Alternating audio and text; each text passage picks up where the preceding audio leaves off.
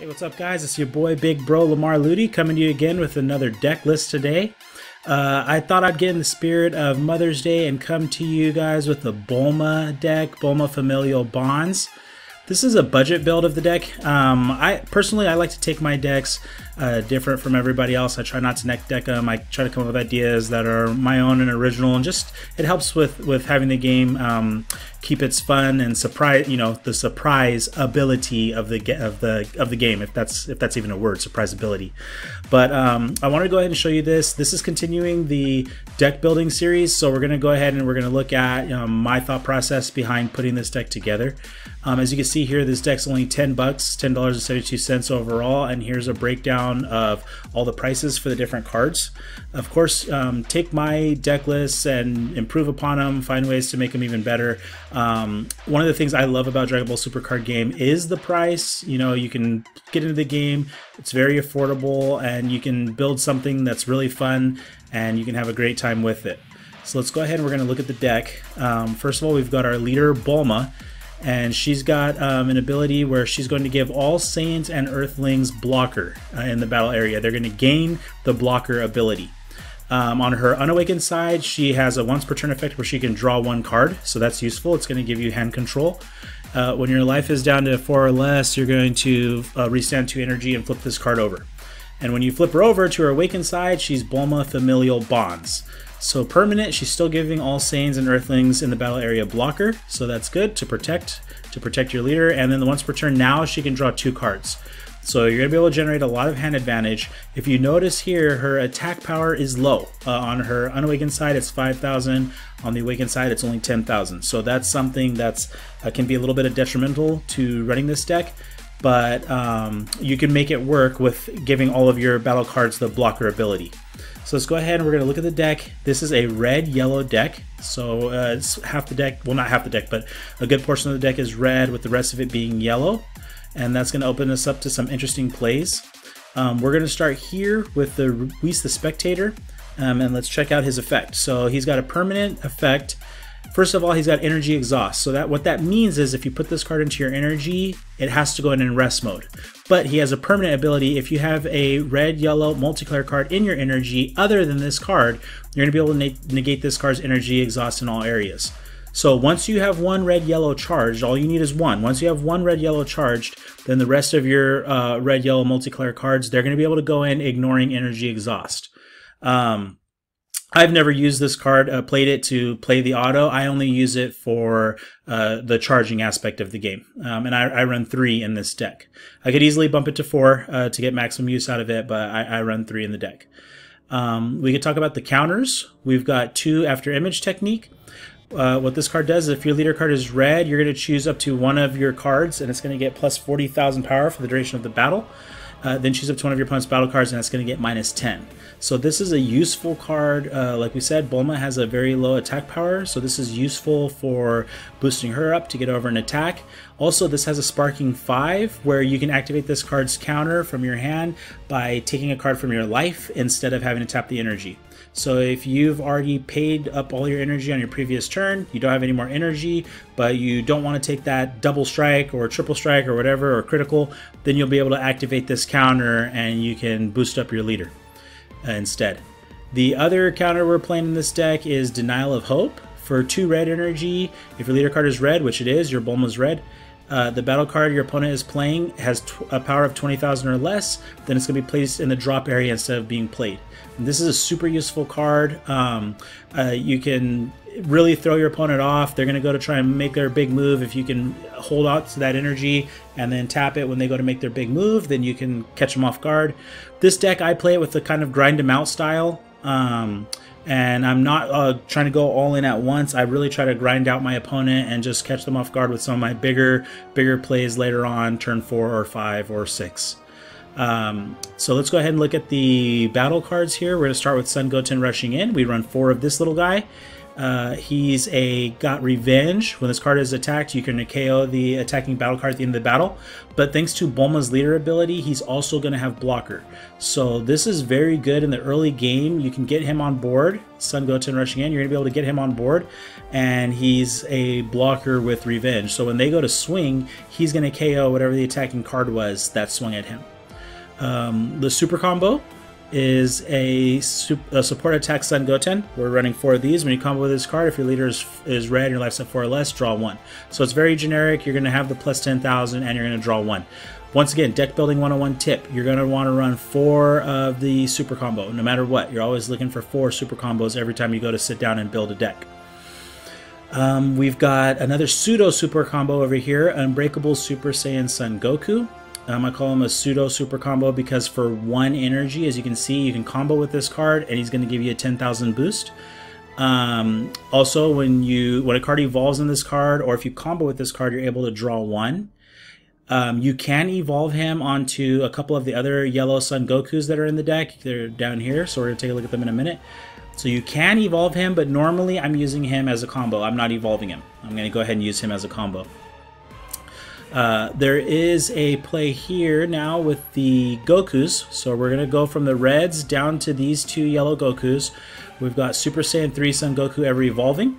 He's got an auto for one yellow energy. When you play this card, you're going to draw one. So he's going to replace himself in your hand. We're running three of these. So potentially you could evolve the Unbreakable Super Saiyan Son Goku onto this card. I've never done it. I wouldn't do it. Um, he's got an activate main of once per turn where you can look at the top five cards of your deck and you can choose up to one red or yellow um, Son Goku, uh, GT, or Pan card among them added to your hand, and that's for one yellow energy. Um, I don't really use that often either. I mostly just use his auto to draw one extra card. Plus, when he's in your battle area, he's going to gain blocker. So remember that. All these Saiyan cards, because this deck is full of, of Saiyans, uh, they're all going to gain blocker. So that's what makes these cards useful. Um, the other one drop Son Goku is Super Saiyan 3 Son Goku, the last straw. Uh, he has a cool auto. When you choose one card in your life and add it to your hand, when this card attacks, it's going to get plus 10,000 power and double strike for the duration of the turn. Now, the way that the ruling is on this card with the wording is it doesn't say, you know, once per turn. So technically, you can add cards in your life to your hand and keep gaining that 10,000 power. Theoretically, is that's one thing you can do with it. Um, so he's he's in here. He's a one drop. He's gonna gain blocker. So if you don't swing with him, you'll have a blocker on board. Uh, also, he can evolve into this Super Saiyan uh, 3 Son Goku. Uh, or I'm sorry, the Unbreakable Super Saiyan Son Goku. He can evolve into that, but I'm not using them to evolve into that. Instead, I can evolve them into this guy right here. The Great Ape Son Goku abilities amplified. I'm running four of these. So I can EX evolve onto a yellow Son Goku GT with an energy cost of one. So, and you just play this card on top of it. So you can, uh, theoretically, you can play out the Super Saiyan 3 Son Goku, you can draw one card, you can tap a red energy, and you can evolve it into this. Auto, when a card evolves into this card, it's going to get plus 15,000 power for the duration of the turn. So now he can um, go up to, from 20 up to 35. You got a big beat stick on board. Um, I mean, it's, it's a cheap play. You, you can do that with this deck. Um, let's see. Let's keep on going down here with the yellows now. We're going to talk about this extra card, Planet Vegeta. It's a field card. And what the way that this is going to work is uh, at the end of your turn, you switch all of your great apes in your battle area back to active mode. So let's say we go ahead and do the play where we evolve into the great ape Son Goku abilities amplified. We swing with him with his 35. We're able to get a damage off of our opponent, take one of their lives. Then if we have Planet Vegeta in play, then that card is going to restand at the end of the turn. And then we can use him as a blocker. So that's going to be crucial. Um, the other effect from Planet Vegeta is when this card is placed in your battle area, you're going to choose up to one Saiyan with an energy cost of four or less from your deck, and you're going to add it to your hand, then shuffle your deck. I like to have Planet Vegeta out early. Uh, that way I can get its effect and I can ensure that my Great Apes are going to be getting their um, restand at the end of my turns, uh, and I know that that's going to be going on early in the game because I have to do everything I can to protect Bulma and protect those lives. Heading over to this card here, we've got Trunks the Cunning. This is a one of. The reason why it's a one of is because auto, when you play this card, you're going to draw one, then for the duration of the game. So you only need one of these guys. If the turn player would use the skill of a battle card or an extra card to switch their energy to active mode, so that's like a Dimension Magic or a Senzu Bean, they can't switch energy active mode unless they choose five cards from their drop and send them to their warp. So he's a good little, you know, he's something that can stop um, your opponent from just abusing abusing cards that restand energy. So that's blue blue decks. A lot of blue decks like to do that. And um, if he stops, you know, if he's able to stop that, you only need one of them because it's going to carry you out for the whole duration of the game. So we stuck one in, and don't forget, he's going to have blocker. The next card here, we've got uh, three of Unwavering Solidarity Tora. So this is like a little tech card that I have in the deck. Uh, if your opponent has two or more battle cards in play and rest, then I can play this card from my hand without paying the energy. So that could be useful. Get a blocker on board for free. Um, and there's another card that's going to synergize with him. When you play the Planet Vegeta card, now that we're getting into the Great Apes, remember this little Unwavering Solidarity Tora, because now we're going to get into the Great Ape cards of the deck. Planet Vegeta can search one out for you, a four cost or less. So let's look at the options we have here. Um, to go along with Unwavering Solidarity Tora, we have Hidden Power Great Ape Tora. So he has an auto. During your turn at the end of the battle, if you combo with this card, you're going to choose up to one Tora in your battle area and you're going to evolve it into this card. So let's say you played out the um, Unwavering Solidarity Tora your last turn for free, or even if you played him out um, this turn for free because your opponent had the two cards in rest. Uh, you swing with, I mean, you could even swing with your leader. You could swing with Bulma. You could tap one energy. These cards take one energy to combo with. You can see it right there. You'll tap one energy, combo with this card, and then you can put him, evolve him um, on top of your Tora. When a card evolves into this card, you're going to choose up to one of your opponent's battle cards in rest mode, and you're going to KO that card. So there goes the synergy. Uh, remember, deck building 101 tip. When you're building decks, you're trying to pick the cards that are going to synergize well with each other. So you can see the reasoning here. This is just a budget build. It's it's it's not designed to take over the national scene. It's just you know just a fun deck. But you can see here where I'm trying to pick cards that are going to synergize well. We've got Tora, we've got uh, his evolution, uh, evolution, evolution form or evolved form, I should say, and um, it's got some decent effects. He's got blocker 20 20,000. You could put pressure uh, off that, so that's not bad. For one energy, you're getting him on board. Um, Bardock Will of Iron, I'm running one of these. Uh, he's a double striker with blocker. During your turn at the end of the battle, if you come with this card, you're going to choose up to one of your Bardock and evolve into this card. Obviously, we're not using it for the auto. Um, we're not evolving it onto anything. The way that we're getting him on board is through this March of the Great Ape. Uh, we run four of these, choose up to two Great Ape cards with an energy cost of four or less from your hand and play them, then draw two cards. This deck has unlimited draw power. It seems like I've I've every time I play this deck, I've gotten down to like only three cards left in in the deck because I just draw so much. I mean, from the leader, she's drawing every turn. My I have eight basically super combos that are going to be drawing for me. Every time I play this guy, I'm drawing a card. Every time I play this guy, I'm drawing a card. Um, when I play Planet Vegeta, I'm getting another card to my hand. Um, even the Super Saiyan 3 Son Gokus, when you activate their effect, you're taking a card from your life. So I've never had an issue um, with draw power with this deck. And then the final Great Ape card, which is kind of the main boss of the deck, which which I try to focus on, is Great Ape Prince Vegeta. He's got critical and blocker.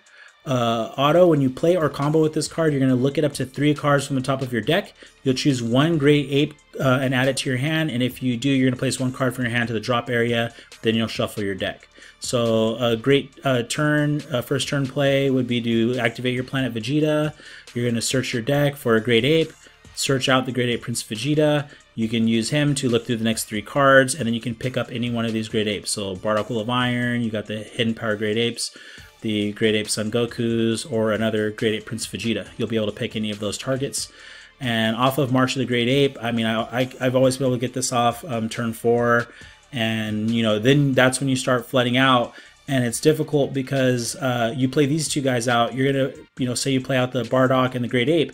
I mean, you're going to be putting pressure on your opponent with cards that are 20,000. Then they're going to restand. And that's where this deck can really start to grind, is because you're going to always be restanding blockers and especially the great apes they're all 20000 um, they're all 20000 so that's something that your opponent's going to have a difficult time trying to get over is getting over those cards with their 20000 attack power. So once again deck building 101 tips. We're looking for cards that synergize well together. We're, we're you can see where some of my choices um, with this deck being just a budget deck a friendly deck.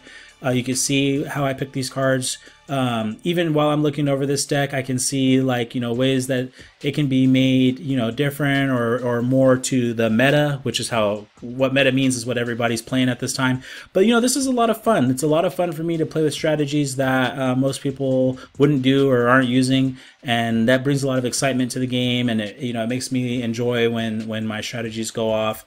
So um, I thought that this is just a fun deck to bring to you guys. Plus uh, tomorrow I'm gonna get this video in, but tomorrow is gonna be Mother's Day, so happy Mother's Day to all the moms out there.